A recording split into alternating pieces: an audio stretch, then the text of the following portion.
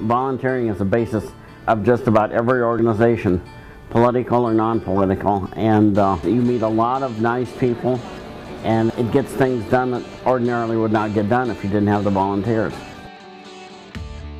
I think I found that there's an awful lot of people out there that need uh, the effort we're making to get out and get people signed up to vote. I think we have a clear message and a, an optimistic view of the future that means the most to the most people. I think if you really care about this country like people say they do, if they really care, they should get involved and try to make it a better place. It's that important to me to get the president reelected. And so I'll do what I can, my little part, in helping him get reelected.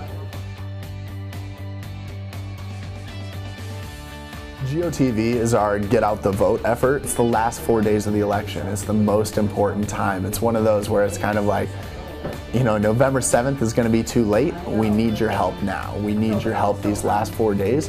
And, and it's easy. It's easy to volunteer for GOTV because we're dealing with supporters.